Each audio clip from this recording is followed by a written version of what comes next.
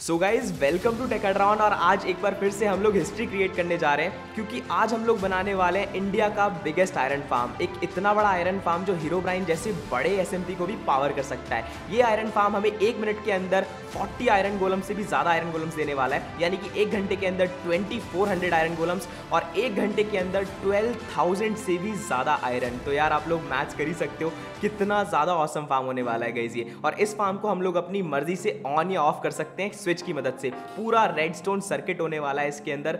बहुत ज़्यादा OP build होने वाला है। तो गाइज़ जल्दी से अपनी वीडियो शुरू करते हैं। सो so यार लास्ट एपिसोड में हमने कलेक्ट किए थे पूरे थाउज़ेंड डिलाइट्राज और इंडिया के अंदर एक बहुत बड़ा रिकॉर्ड बना दिया था।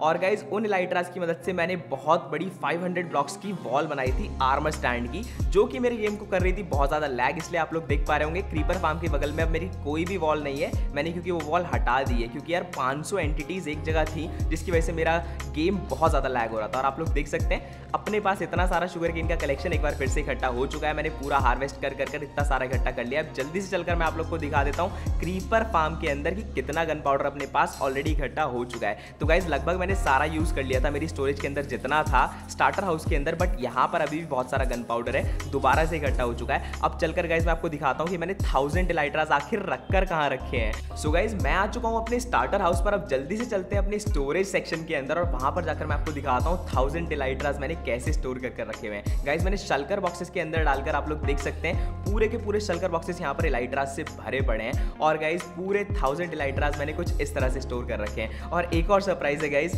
मैंने लिटरली इतने सारे रॉकेट्स बना लिए थे ना कि पूरे में यूज़ भी नहीं कर पाया। अभी तक रॉकेट्स का पूरा भंडार पड़ा हुआ है मेरे पास। आने वाले टाइम में मैं इन रॉकेट्स को पता नहीं यूज़ भी कर पाऊँगा या नहीं कर पाऊँगा।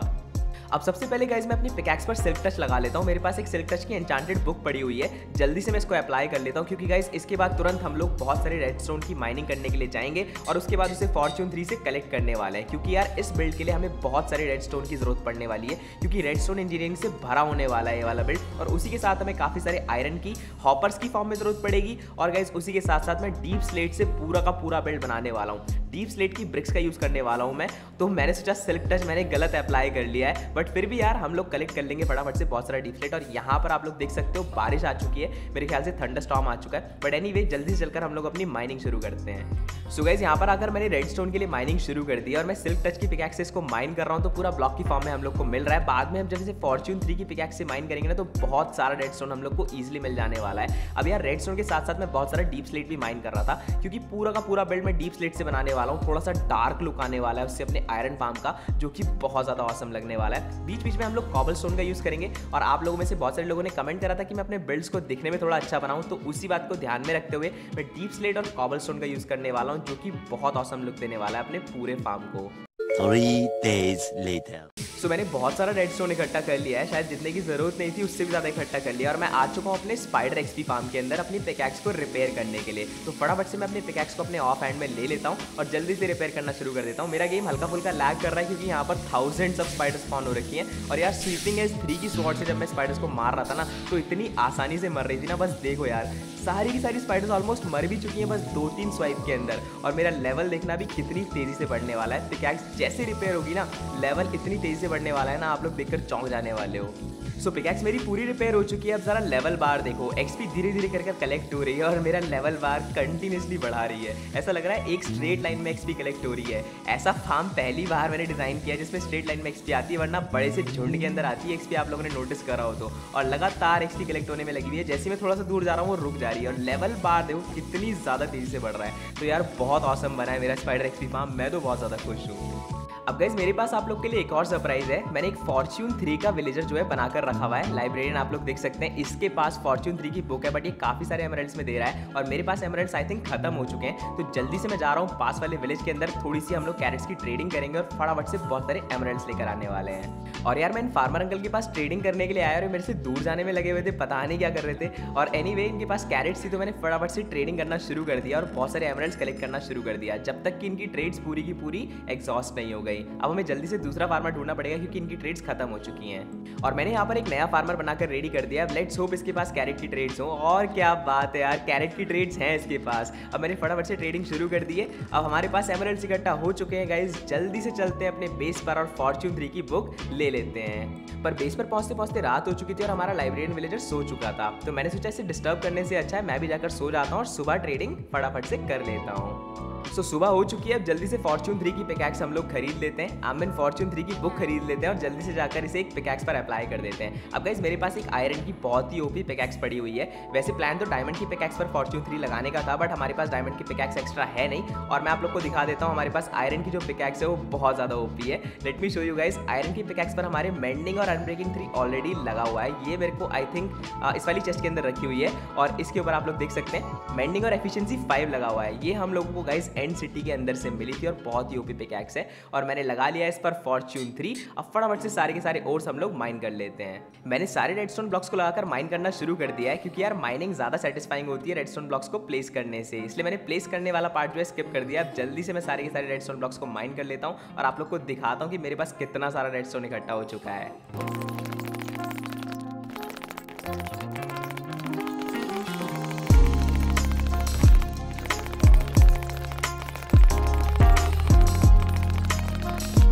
Thousands of tears later. So so guys मेरे पास भर भर के रेड स्टोन इकट्ठा हो चुका है। शायद इतना जिसकी मुझे कभी ज़रूरत भी नहीं पड़ने वाली है। अब फटाफट से अपना आयरन फार्म जल्दी से बनाना शुरू करते हैं। सो so, मैंने आयरन फार्म बनाना शुरू कर दिया और उसके लिए मैंने लोकेशन रखी है अपने सीक्रेट शुगर केन फार्म के पास वाली और यहाँ पर काफ़ी सारा एरिया मैंने क्लियर करना शुरू कर दिया है क्योंकि यार हमारा इंडिया का बिगेस्ट आयरन फार्म होने वाला है तो उसके लिए जगह भी तो ज़्यादा चाहिए होगी ना। और गाइज़ इसे मैं अपने बेस से दूर इसलिए बना रहा हूँ क्योंकि अपने बेस वाले विलेजर्स इसके साथ में इंटरफेयर ना कर सके और आयरन गोलम का स्पॉन रेट जो है काफ़ी ज़्यादा रहे। सो गाइज़ मैंने लगभग 100 बाय 100 का एक बड़ा सा एरिया क्लियर कर लिया और यहाँ पर ये भाई साहब फिर से स्पॉन हो गए अब जल्दी से इनकी ट्रेड्स देखते हैं और अगर ट्रेड्स अच्छी नहीं हुई तो इन्हें मैं फटाफट से निपटा देता हूँ। तो जल्दी से जाकर हम लोग ट्रेड चेकआउट करते हैं और एज यूजल गाइज़ बहुत ही घटिया ट्रेड्स हैं। बहुत ही कॉमन सी चीज़ें हैं जो हमें कहीं भी मिल सकती हैं। अब जल्दी से मैं इसे मार देता हूँ। पता नहीं यार इतनी बकवास ट्रेड्स क्यों लेकर आता है और ऊपर से इसके लामाज भी हम पर हमला करना शुरू कर देते हैं। इसकी मूर्ति बननी चाहिए। और यहाँ पर मैंने लामास को भी निपटा दिया है। ये फार्म ग्राउंड से 10 टू 15 ब्लॉक्स ऊपर की तरफ़ होने वाला है, जिससे आयरन गोलम्स नीचे ग्राउंड पर स्पॉन ना हो। और मैंने यहाँ पर 15 टेम्परेरी ब्लॉक्स लगाने शुरू कर दिए हैं। अब फटाफट से मैं अपना रेड स्टोन का सर्किट बनाना शुरू कर देता हूँ। गाइज़ इसमें बहुत ही ज़्यादा बड़ा रेड स्टोन का सर्किट होने वाला है, जिसे हम रेड स्टोन पल्स एक्सटेंडर बोलते हैं। बेसिकली हम लोग आयरन फार्म्स को स्टैक करने वाले हैं। दस आयरन फार्म से मिलाकर हम लोग एक आयरन फार्म बनाने वाले हैं और इस पल्स एक्सटेंडर की ज़रूरत उसके लिए पड़ने वाली है। एक के बाद एक ऊपर आयरन फार्म जो होंगे उनमें सिग्नल्स भेजने के लिए। तो जल्दी से मैं पूरा बिल्ड कंप्लीट कर लेता हूँ। पल्स एक्सटेंडर का सर्किट काफ़ी कॉम्प्लेक्स होता है, इसलिए मैंने उसे टाइम लैब्स के अंदर डाल दिया है। आप लोग को समझाना काफ़ी मुश्किल होने वाला था, इसलिए गाइज़ मैं टाइम लैब्स के अंदर दिखा रहा हूँ। बट मैं आपको इसकी वर्किंग समझा देता हूँ। बेसिकली पल्स एक्सटेंडर का काम क्या होता है? रेड स्टोन का सिग्नल ऊपर की तरफ़ पहुंचाना मतलब हायर एल्टीट्यूड्स पर पहुंचाना, या फिर आप लोग बोल सकते हो रेड स्टोन का पल्स जो है ऊपर की तरफ़ पहुंचाना। अलग अलग लोकेशन पर हम लोग इसकी मदद से भेज सकते हैं। सो so यार, हमारा रेड स्टोन सर्किट यानी कि हमारा आयरन फार्म का हार्ट बनकर एकदम रेडी हो चुका है और अभी ये पूरा ऑन हो रखा है। सबसे पहले तो गैस चलकर मैं इसे ऑफ़ कर देता हूँ, क्योंकि इसे ऑफ़ करना बहुत ज़्यादा ज़रूरी है। अगर ये ऑन रहा और मैंने आयरन फार्म बनाना शुरू कर दिया ना तो आयरन गोलम से स्पॉन होने शुरू हो जाएँगे, जिसकी वजह से काफ़ी प्रॉब्लम हो जाने वाली है। तो आप लोग देख सकते हैं, मैंने इसे ऑफ़ कर दिया है। बस एक दो सेकंड के अंदर अभी ऑफ़ ही होने वाला है। और यहाँ पर मैंने कुछ हॉपर्स रखे हैं, जिसके ऊपर हमें फटाफट से एक कंपेरेटर लगाना है। सबसे पहले आप लोग देख सकते हैं सर्किट ऑफ़ हो चुका है। अब फटाफट से गैस इसके ऊपर मैं स्लैब्स लगा देता हूँ। स्लैब्स हम लोग इसलिए लगा रहे हैं जिससे आयरन गोलम स्पॉन ना हो सके। बेसिकली ये नॉन स्पॉनेबल ब्लॉक्स होते हैं। तो ये लगाना बहुत ज़्यादा ज़रूरी होता है। और जैसा कि मैंने बोला था, हम एक ऐसा आयरन पाम बना रहे हैं जिसे आप अपनी मर्ज़ी से ऑन या ऑफ़ कर सकते हैं। आप लोग देख ही सकते हैं, इस लेवर को अगर आप ऑन करेंगे तो आयरन पाम ऑन हो जाएगा। इसको अगर आप ऑफ़ कर देंगे तो एक दो सेकंड के बाद आयरन पाम खुद ही ऑफ़ हो जाने वाला है। आप लोग देख सकते हैं पल्स जा चुकी है। सो so, अब बारी आती है इस विलेजर्स और जॉम्बीज के लिए प्लेटफॉर्म्स बनाने की जो कि मैंने बनाना शुरू कर दिया है। सबसे पहले मैंने जॉम्बीज के लिए प्लेटफॉर्म्स बनाए और अब मैं बना रहा हूँ विलेजर्स के लिए प्लेटफॉर्म्स विलेजर्स के लिए तीन वर्किंग ब्लॉक का मैंने यूज़ करा है और मैं कार्टोग्राफी टेबल का यूज़ कर रहा हूँ क्योंकि सबसे सिंपल टू मेक